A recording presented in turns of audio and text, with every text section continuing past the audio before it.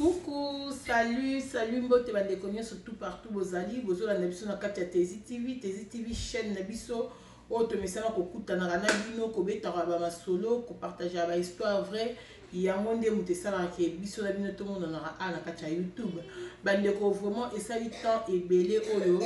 tozomonana lisusu te a na kati ya YouTube, topiblia ba video te, esali presque na ba une annee kaka. tomonana na bino te eza pona ba raison moko eza personnel yango omoni ke non tobandaka komonana te mais cette fois ci maman teze aye de retour na kati ya youtube balobi ntango tozongi tour oyo toye nde na masolo ya sika ba histoire vrai tokobanda obeta comme d'habitude mpo na kopartageaka toujours na bandeko ndenge misana mais toye siko na idée oyo ya koluka mbongo toyeba koluka mbongo toyekola ndenge nini balukaka mbongo Biso nioso tout to apprendre comment oko banda oluka mbongo na yo yo moko ya mutu te yo moko oza muasi mais olukaka mbongo na yo yo moko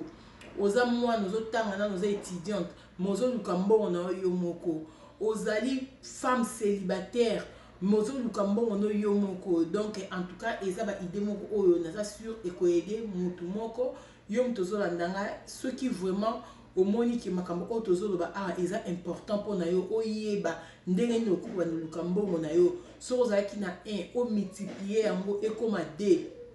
ozala na ba ozala independante financièrement donc o dependaka na mutu te soki oza na posa likambo no oyo ezo depend oza na posa ya mbongo osalaka yo moko ezala te ke non ozo dependre kaka na mobali ozo dependre kaka na ba cherie surtout ba jeune fille donc makambo eza ebele oyo ezo bebisa generation ya lelo a cause ya kolula boza na posa mbongo mais boyebi ndenge nini balukaka mbongo wana te maman tezi aza a mpona kosunga yo oyeba ndenge nini okobanda oluka mbongo na yo moko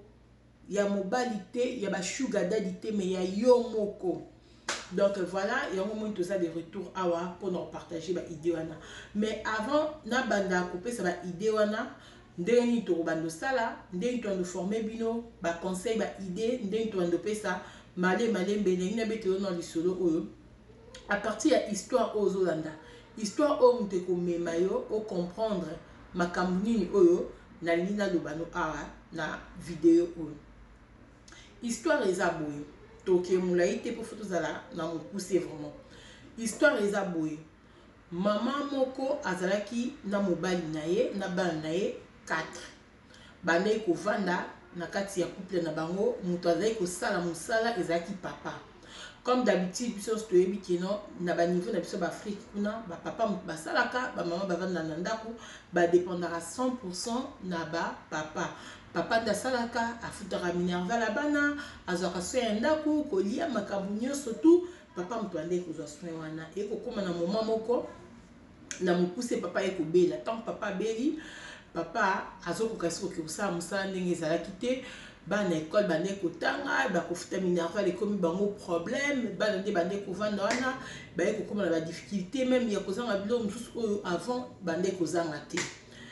Sikoyo lokola maman na biso abandaki kosala te azalaki juste ko dependre na papa ayebi nde balukaka te vie na ye mobimba ayebi nde batekaka te ayebi nde basalaka te azalaki vraiment juste wana mpona kaka kobokola bana mama na biso abandi kovanda kaka bongo na mobali nde na maladi na bapasi na bango ti nzambe aye kozwa molimo ya papa na biso papa na biso asali nini akufi ntango papa na biso akufi yoka sikoyo place tokomi yango oyo papa ntango akufi Ba famille ya papa lokola papa asombaka lopango balobi ke te ndenge eza boye oyo akufi aza ndeko na biso lopango ye moto asombaki lokola aza na bana il faut toteka lopango wana tokabola mbongo bana bazwa part na bango biso pe famille tozwa oyo ya biso Bino moko boyebi ba na ba niveau na biso ya Afrique wana soki dejà ba famille bakomi koloba makambo ya ndenge wana ke bateka lupango bakabola mbongo oyo akotelema mwana oyo akotelema ke non rien lupango eza ya papa na biso eza ya biso mwana wana nde mutu ya mibale akolanda papa donc maman wana azalaki oblige ya ko ceder po bateka lupango bateki lupango baye kokabola mbongo bapesi maman wana part na ye maman wana aye kolongwa na lopangu wana parce que lopangu basi batekaki ake sikoyo na vie ya kofutela ntango mama ake na vie ya kofutela nde place onga nayaki koyeba famille wana à partir ya histoire oyo bango moko babetelaki nga ke biso ndenge ozomona biso tala vie touti nango ya boye tala ndenge ezalaki tala ndenge ezalaki soki toyei kose retrouver lelo awa parce que papa na biso akufi ezalaki vraiment mpasi mingi histoire oyo nabeti Eza histoire vraie mais eza histoire oyo esalamela kaka ba ndeko oyo nga nayebi wana te eza likambu moko oyo na ba famille ebele surtout na ba niveau ya Afrique makambu esalamaka yango wana tellement ba maman ebele basalaka te bayebi nde balukaka mbongo te bayebi nde batekaka te bayebi nde ba debrouillaka te soki papa aza kaka na musala moko oyo ya bien dejà ezo servir bango na ndaku en tout cas ba maman wana basalaka effort ata moko te lelo nalingi naloba boye na histoire oyo tobeti Soki mama wana azalaki mwasi moko, abandaki ko debriye, abandaki kosala quelque chose, azalaki na mosala na ye, meme na l'etat, l'etat alingaki appuyer ye, meme lopango oyo ya bana na ye, balingaki bazala na droit ya koteka yango te parce que alingaki a se defendre. Mobali oyo asomba lopango ye moko te, moi aussi j'ai travaille, na contribuyaki pona. kosomba lupangu oyo donc mbala moko aza na droit ya kotia maloba na ye na kati mais lokola batu nionso bayebi ke azalaki mwasi moko bavandaka kaka toujours na ndaku asalaka eloko moko te donc choix ezalaki te ya koloba kutu ebele elingaki ezala na place wana te donc lupangu fo etekama kaka yango nde tozoloba awa lelo Tozo loba nini? Tango oza muasi oza na kati ya ndako ya libala yekola kosala quelque chose koloba kaka te que non ngai nasi na bali na ngai esili mobali na ngai azwaka soin na ngai makambo nionso tout te tozo souhaiter kaka liwa te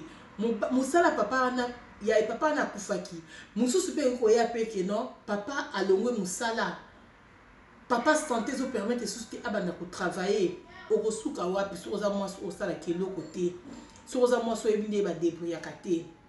yango mwasi faut yeba kosala quelque chose meme si oza jeune fille ndenge nazoloba boye o oh, omoni ke non baétude na yo bandaki kotanga esimbi te parce que euh, moyen ya kofuta baminerval eza te okati baétude mais kofanda kaka ndenge wana tolobaki te anga ah, moto afutaka minerval eza te esimbi yango daka afanda ndenge wana non oza mpe na droit ya kosala quelque chose oyo ekoki koede yo ozongela mpe baétude na yo eza normal Meme si nde tozo loba awa nga na yo tozo yoka oboti classe ekatani moyen continue classe eza te o se retrouver na mwana na maboko mwana moko bana mibale ozo yeba ndenge nini ako sala te maman ozali na capacite wana ya ko bima na situation oyo ozali na ngo wana Oza na capacite wana yango omoni maman these aye awa pona ko aide ba genre ya basi nionso tout oyo baza na posa bazala independante oza penza na posa osalaka mbongo na yo moko ya mutu te ya yo moko banda kolanda nga na chaine oyo eloko ya liboso ebongi osala eza s'abonner nao na chaine parce que heure oko s'abonner nga a chaque fois nando publier ba video yo okobanda komona ezala na publiaki na moyi ezala na butu ezala na tongo Yo okobanda omona il suffit kaka o cliquer na cloche wana ya notification nga soki na publier ba video yo okobanda ozwa ba video comme ça biso toza awa tokobanda opesa bino ba conseil tobanda opesa bino ba idee ndenge nini okosala meme yo moto ozolanda ngo oza awa na occident okozala oza na mbongo na yo oyeba te okobanda ndenge nini na mbongo wana eloko nini okosala na mbongo wana ozwi mbongo obombi na banque mbongo soki obombi na banque wana oyo oza na 50 000 dollars obombi na kati ya banque Ata esali 20 ans eloko moko te mbongo wana eke produire eloko te mais soki ozui mbongo wana otie yango na ba activite olandi ba conseil oyo tozo pesa yo olandi ba idee oyo tozo yebisa yo mama mbongo wana ekobotela yo lisusu ebele kobomba mbongo na banque eza esprit ya pauvrete ya pure Donc wana eza eza esprit ya pauvrete mutu aza na posa a evolue azwaka mbongo abombaka te esala eloko te te atiaka mbongo na place oyo ezo sala quelque chose donc c'est ça oyo nalingi nakabola na bino na pokwa lelo partager video ekesunga ndeko moko oyo pe ako se retrouver ke te Nga pe nabandi olanda nayeba nini nako banda osala donc c'est ça oyo toyeli bino de retour ya maman tesi na kati ya youtube juste pona ko former basi oyo balingi balukaka mbongo na bango bango moko basi oyo baza na capacite ya ko defendre ba, ba vie na bango bango moko bana na bango ata ba papa baza te mais atangisa bana ne tina niveau bana bakoma na ba universite abeta tolo ke non nazalaki vraiment maman Bana no ba felicite yo ken ozalaki penza maman ata na absence ya papa na biso osalaki quelque chose oza jeune fille ozo tanga oza na universite oza na droit oza na makasi wana ya kosala quelque chose donc kotikala kaka bongo te bras croise ke te nga na kosala eloko te nga nayebi eloko te même si oza na zero oza na eloko te tokoforme yo tokolakisa yo ndenge nini okobanda kosala kaka na 1 oyo oza na yango wana ekoma 2 ebota pe ezalaki de ekomi trois ekomi pe ebele donc toza na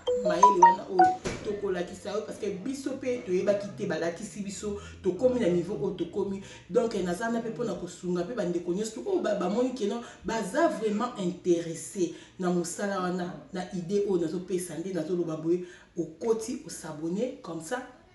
tokosunga yo